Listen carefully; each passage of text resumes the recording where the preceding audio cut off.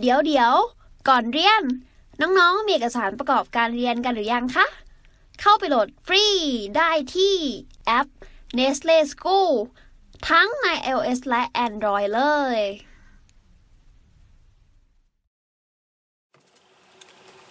ดูต่อในแบบฝึกหัดที่ 2.8 ข้อที่ 3 นะครับ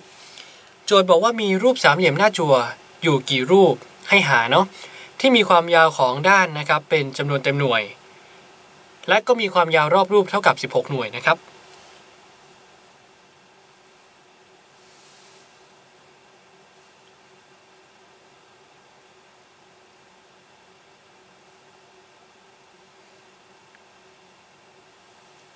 โอเค ข้อนี้นะครับเริ่มต้องเอ่อเริ่มต้องใช้ความรู้นะครับ เอาใหม่ เริ่มต้องมีการสังเกตที่มากขึ้นดีกว่า เราจะทำไงดีครับไม่ใช่ว่าการแทนเอ่อไม่ใช่ว่าเราเราจะแทนค่ามั่วๆไปเรื่อยๆนะครับ เราจะทำยังไงให้เราสามารถไล่จำนวนรูปของสามเหลี่ยมหน้าจั่วที่มีข้อมูลตามเนี้ยอย่างเป็นระบบนะครับเออเราจะทำยังไงดี อันดับแรกนะครับ ไม่ต้องคิดอะไรเยอะเราอาจจะลองวาดรูปดูก่อนก็ได้เนาะนะครับสามเหลี่ยมหน้าจั่วนะครับแปลว่าต้องมีอสองด้านนะครับ ยาวเท่ากัน พี่อาจจะลองสมมุตินะครับว่า 2 ด้านเนี่ยที่ยาวเท่ากันเนี่ยมีความยาวเท่ากันคือเป็น x และการเป็นตัวแปร ความยาวฐานนะครับ ตรงนี้เป็นความยาว y นะครับ โจทย์กำหนดว่าอะไร ความยาวรอบรูปเท่ากับ 16 หน่วย เพราะนั้นสมการของเราคืออะไรเอ่ย ความยาว รอบรูปนะครับ เท่ากับ 16 ก็ตั้งเลยนะครับ x บวก x ได้ 2 x บวก y เท่ากับ 16 นี่สมการจะหน้าตาประมาณนี้ ข้อกำหนดอย่างหนึ่งนะครับคือ x x แล้วก็ y เพราะนั้น x กับ y ตรงนี้ต้องเป็นจำนวนเต็ม เป็นศูนย์ได้ไหมไม่ได้ถูกไหมเป็นจำนวนเต็มเป็นจำนวนเต็มลบก็ไม่ได้ถูกไหมครับก็แปลว่า x กับ y เนี่ยต้องเป็นจำนวนเต็มบวกนะครับอ่าเริ่มเริ่มเป็นระบบมากขึ้นละทีนี้ลักษณะความความ ลักษณะของค่า y เนี่ยควรจะมีลักษณะเป็นแบบไหน ถามว่า y เป็น 1 ได้ไหมครับ ถามว่า y เป็น 1 ได้ไหมอะลองทดดูนะ ลองทดดูนะครับ ถ้า y เท่ากับ1นะครับจะเกิดอะไรขึ้น จะได้ว่ากลายเป็น 2x บวก1เท่ากับ 16 ใช่ไหมครับ 2x บวก1เท่ากับ 16 ย้าย 1 ไปลบนะครับ ก็เหลือกลายเป็นเอ่อ 2x มีค่าเท่ากับ 15 เพราะฉะนั้น x ก็จะกลายเป็น 7.5 นะครับ ไม่ใช่จำนวนเต็มถูกไหมมันไม่ใช่จำนวนเต็ม เพราะฉะนั้นนะครับเราควรจะเริ่มสังเกตแบบนี้ 2x เนี่ย x เนี่ยเป็นจำนวนเต็ม จำนวนเต็มอะไรก็ตามที่คุณอยู่กับเลข 2 มันจะเป็นจำนวนคู่เสมอนะครับไม่ว่า x จะเป็นคี่หรือจะเป็นคู่ แต่พอคูณด้วย2เนี่ย 2x จะเป็นจำนวนคู่เสมอจำนวนคู่บวกกับจำนวนอะไรดีนะครับ ได้เท่ากับจำนวนคู่ คู่บวกคี่ได้คู่ไหมไม่ได้ถูกไหมเพราะฉะนั้นคู่ก็ต้องบวกคู่ถูกไหมครับ เห็นได้ชัดนะครับ เห็นได้ชัด ว่า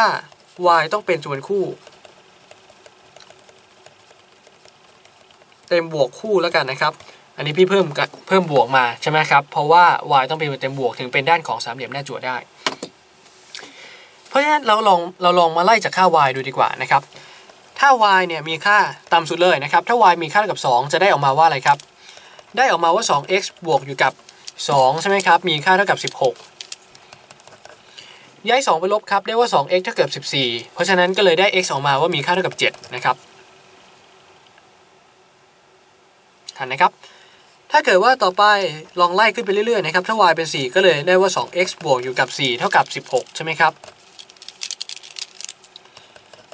แสดงว่า 4 ย้ายไปลบครับ เหลือแค่ 12 หาร 2 ก็กลายเป็น x เท่ากับ 6 นึกภาพนะครับ ตรงนี้คือ 6 6 แล้วก็ 4 ก็ยังดูไม่เป็นไร ถ้าเกิดว่า y มีค่าเท่ากับ 6 นะครับ จะเกิดอะไรขึ้นคือ 2x บวกอยู่กับ 6 ก็จะมีค่าเท่ากับ 16 ใช่ไหมครับ ได้ว่า 2x เอ่อเท่ากับ 10 แล้วก็ได้ว่า x มีค่าเท่ากับ 5 ต่อไปครับกรณีที่ 4 นะครับ ถ้าเกิด y มีค่าเท่ากับ 8 นะครับ จะได้ว่า 2x บวกอยู่กับ 8 เท่ากับ 16 แสดงว่า x ก็ต้องเท่ากับ 4 ถูกไหมครับ ทีนี้พอเราไล่ไล่มาถึงเคสนี้นะครับ เริ่มเห็นปัญหาแล้ว เริ่มเห็นปัญหาแล้ว ปัญหาที่เกิดขึ้นคือแบบนี้ครับ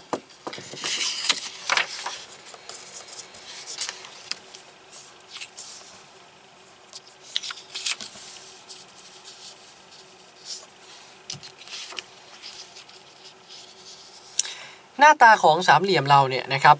x จะมีค่าเท่ากับ 4 หน่วย 4 หน่วยกับ4หน่วยกับ 8 หน่วยใช่ไหมเพราะนั้นสามเหลี่ยมเอาใหม่ หน้าตาของสามเหลี่ยมของเราเนี่ยจะถูกฟอร์มด้วย ความยาว 3 ด้านก็คือ 4 4 แล้วก็ 8 นะครับ ทีนี้ถ้าเกิดว่าเราลองสร้างด้วยวงเวียนกับสันตรงเนี่ย เราจะเห็นได้ว่าความยาว 8 ความยาวเท่านี้ถูกไหมครับ ถ้าเรากางวงเวียนรัศมีเท่ากับ 4 หน่วยนะครับกางเวียนรัศมี 4 หน่วยตัดมาชึบมันจะเจอแบบนี้ กางวงเวียนรัศมี 4 หน่วยฝั่งนี้ครับ ตัดมาชึบมันก็จะกลายเป็นหน้าตาประมาณนี้นะครับ ตรงนี้ 4 หน่วยใช่ไหมเพราะฉะนั้นนะครับมันจะคล้ายๆกับคลิปแรกที่พี่พูดในเรื่องของอสมการสามเหลี่ยมนะครับว่า ถ้าเกิดว่าเรารู้ว่าสามเหลี่ยมเอาใหม่ ถ้าเรากำหนดความยาวด้านของสามเหลี่ยมมาให้ 3 ด้านเนี่ยสามเหลี่ยมบางรูปความยาวทั้ง 3 ด้านเนี่ยบางทีมันไม่สามารถฟอร์มกันกลายเป็นสามเหลี่ยมได้ เช่นในเคสนี้ครับ4 4 กับ 8 เนี่ยกำหนดให้เป็นความยาวด้านของสามเหลี่ยม แต่ว่าจริง ๆ แล้วเนี่ยนะครับพอวาดรูปแล้วเนี่ยมันไม่สามารถสร้างกลายเป็นสามเหลี่ยมได้เพราะสีตรงนี้นะครับ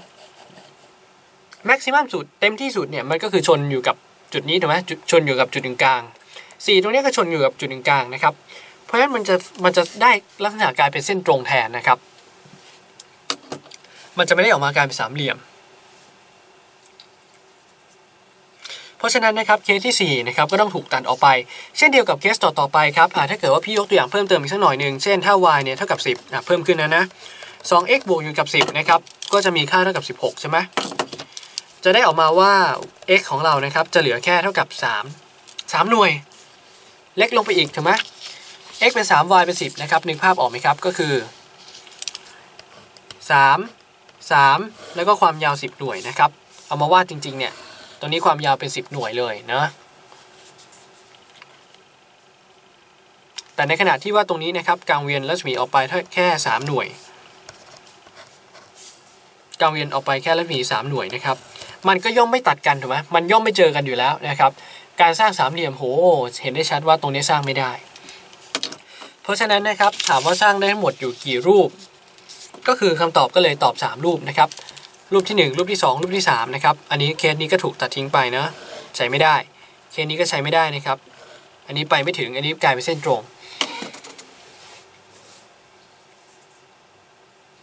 โอเคเนาะสรุปแนวคิดอีกครั้งหนึ่งนะครับ ข้อนี้เนี่ย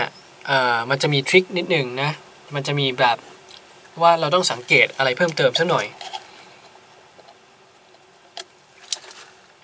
แต่ถ้าเกิดว่าเราจะไม่ทำเหมือนพี่ก็ได้นะครับ มันสามารถไล่อีกหลายรูปแบบเลย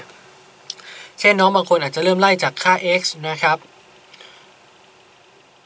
น้องบางคนเริ่มไล่จากค่า y อะไรแบบนี้นะครับ ก็แล้วแต่ว่ากันไป เพียงแต่ว่าอันนี้ก็เป็นมุมมองของพี่ว่าอยากเสนอให้เราดูลักษณะโจทย์แบบนี้ก็สามารถทำแบบนี้ได้ พี่ลองวาดรูปสามเหลี่ยมครับสามเหลี่ยมหน้าจั่วเนี่ยก็ต้องมีด้าน2ด้านยาวเท่ากันกำหนดให้ 2 ด้านนี้ยาวเท่ากับ x กับ x เนาะฐานตรงนี้นะครับยาวเท่ากับ y สมการก็คือความยาวรอบรูปโจทย์กำหนดให้เท่ากับ 16 หน่วยใช่ไหมครับ ก็แปลว่า 2x บวก y เท่ากับ 16 ข้อสังเกตอย่างหนึ่งคือ x กับ y เนี่ยโจทย์บอกเป็นจำนวนเต็ม ซึ่งจริงเราเรารู้ถูกไหมครับว่าต้องเป็นจำนวนเต็มบวกด้วยจำนวนเต็มบวกอะไรเอ่ยคูณ 2 บวกจำนวนเต็มบวกเท่ากับ 16จำนวนเต็มคูณ 2 ต้องเป็นเลขคู่นะครับเลขคู่บวกอะไรได้กลายเป็นเลขคู่ก็ต้องเลขคู่บวกเลขคู่ถูกไหมครับแปลว่า y เนี่ยต้องเป็นจำนวนเต็มบวกคู่แน่นอนนะครับจะเป็นเลขคี่ไม่ได้เลย เพราะนั้นพอเราเจอแบบนี้นะครับเราสามารถไล่มันได้ง่ายขึ้น เพราะนั้น y เนี่ยพี่เริ่มสตาร์ทที่เลข 2 พอ y พี่สตาร์ทที่เลข 2 ปุ๊บผลปรากฏคือ 2x บวก2เท่ากับ16 ได้ x เป็น 7 ก็คือ 772 นะครับ รูปที่ 1 รูปที่ 2 ครับ ถ้าเกิด y เท่ากับ 4 ได้ว่า 2x บวก4เท่ากับ 16 หรือได้ x เท่ากับ 6 นะครับ หมายความว่าเป็นรูป 6 6 4 ถ้า y เป็น 6 ได้ x เป็น 5 ก็คือ 6 6 5 นะครับ ก็หน้าตาดูปกติดี แต่กรณีที่ y เป็นเลข8ครับพอเพิ่มขึ้นมาอีก2เนี่ยกลายเป็นเลข8ถูกไหมจะได้ x เหลือแค่4ครับ y เพิ่มขึ้น x ลดลง y เพิ่มขึ้น x ลดลงนะครับพอเกิดเคสที่ x เป็น 4 ก็คือซ้ายกับขวาเนี่ย4หน่วย แต่ว่า y ตัวนี้เท่ากับ 8 หน่วย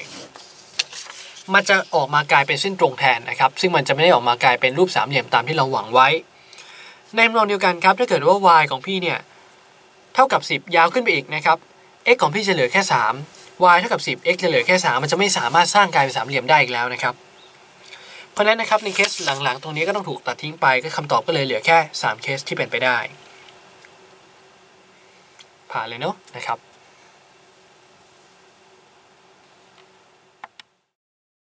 เรียนจบแล้ว อย่าลืม เข้าไปฝึกทำข้อสอบแบบจับเวลา ในแอป Nestle School กันด้วยนะจ๊ะ ถ้าน้องๆมีคำถามสงสัย ไม่เข้าใจตรงไหน ถามว่าในแอปได้เลย แล้วพี่ๆจะรีบเข้าไปตอบให้นะคะ ไม่มีอะไรจะสุขเท่า